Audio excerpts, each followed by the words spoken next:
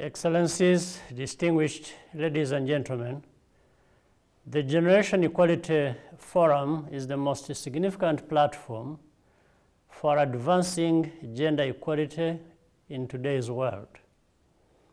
I wish to commend President Macron of France and President Lopez Obrador of Mexico for championing this initiative together with UN Women Executive Director Phumzile Mlambo Ngcuka.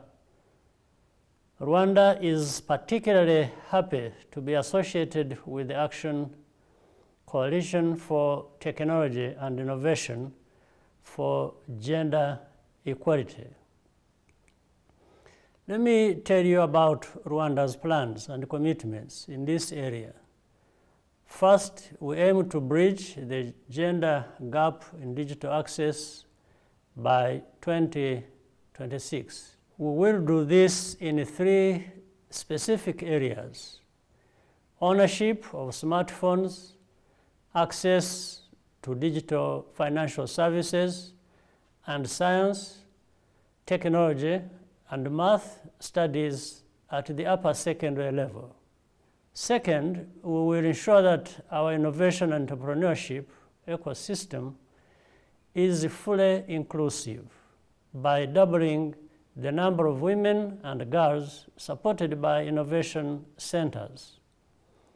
Rwanda has also engaged the East African community in pursuit of possible joint commitments in these domains.